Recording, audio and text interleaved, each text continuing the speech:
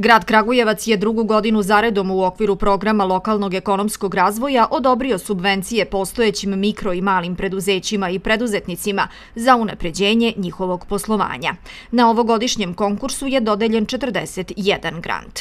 28 su dobile žene preduzetnice i 11 preduzeća iz metalskog sektora, dok su ostali pripali firmama iz oblasti IT sektora i udruženjima kojima je namenjena ova vrsta podrške.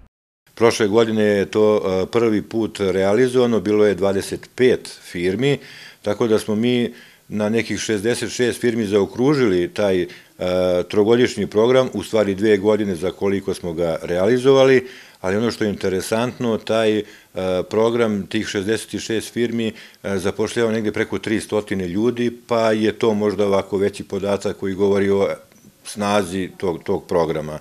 Za ove namene je 2022. godine izdvojeno 8,2 miliona dinara. Ovogodišnji budžet je iznosio 13,3 miliona, a za narednu godinu planirano je 20 miliona dinara.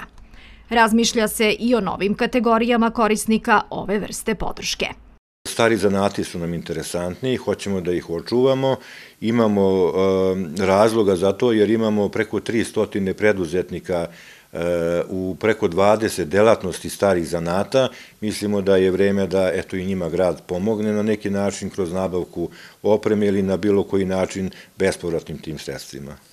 Ova podsticajna mera ima za cilj jačanje lokalne privrede i njene konkurentnosti.